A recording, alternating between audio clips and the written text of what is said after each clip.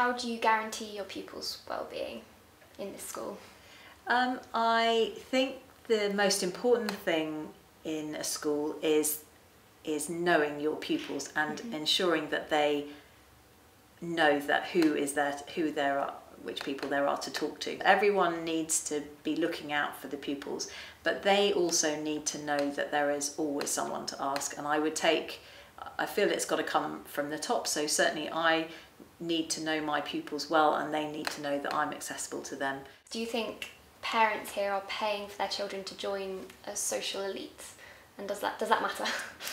Um, Blundell's is a hugely varied uh, community, and I think uh, definitely they don't see it as a social elite. Mm-hmm. Uh, we, we love the breadth that we have within our community.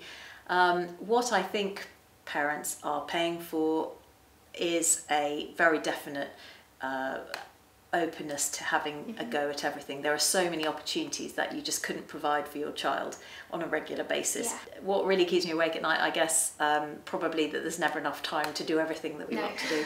So that would be one of those things. Um, but does this justify you getting paid more than the Prime Minister? I definitely don't think I'm paid more than the Prime Minister.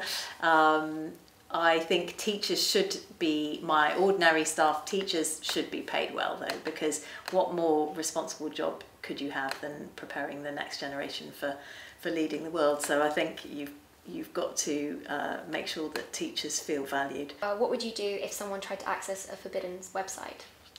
So at Blundell's we've just introduced, we have relatively recently, we have a bring your own device network so you can bring in your own phone or laptop and join into the school system.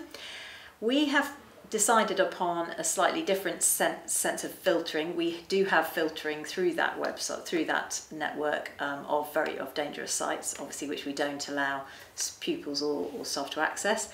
But we have quite a, a a bit more of an open accessibility policy. So actually, the filtering is not quite as tight as, or and things don't get blocked so easily as they perhaps might have done because what we do is record any access mm-hmm. that people have made to sites and that gives us the chance to have a conversation with the pupil about why they're wanting to access a particular site as opposed to just blocking it and they move on to find another way of getting there. How would you define bullying and how do you deal with it?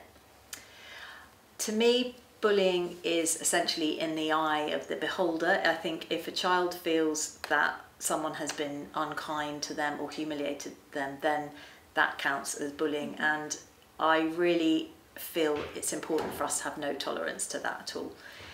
We take, uh, I think, a very firm line, and uh, some people might say that we take a very firm line, and to be honest, I'm quite pleased that they would say that uh, we would, uh, it's a no nonsense approach. There are mm-hmm. very strict guidelines, and pupils should therefore know that they cannot be intentionally unkind to others.